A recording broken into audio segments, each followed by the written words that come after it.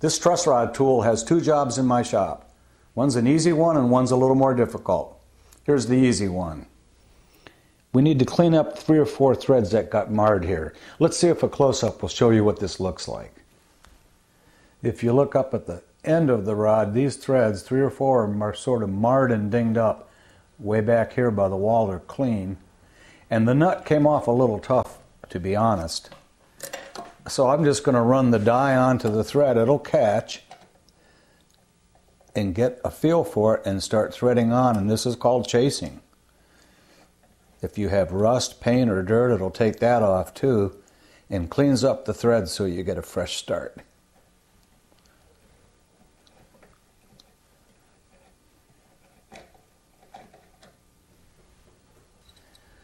I don't know if you can see it in this picture or not, but those threads are sharper now and that nut will go right on. It solved that problem in a hurry. That's how they should work.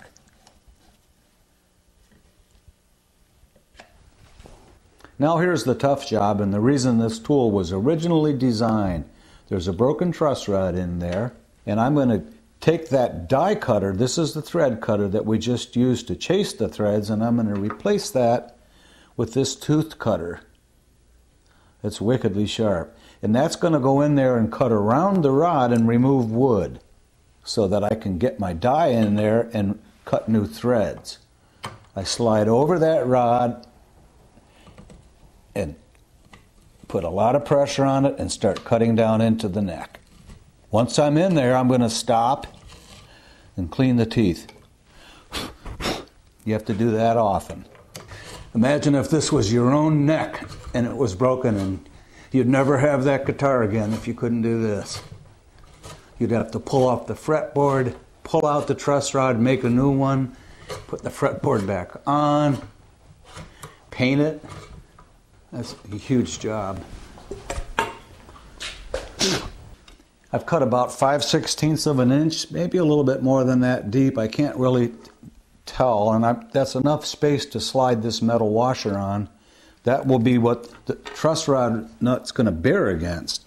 But first I'm going to sharpen up the existing threads and cut a few more because I can see where the thread runs out and hits metal. Right now I'm just threading onto the old threads. When it comes to a stop, then I'll be cutting a new thread, right there.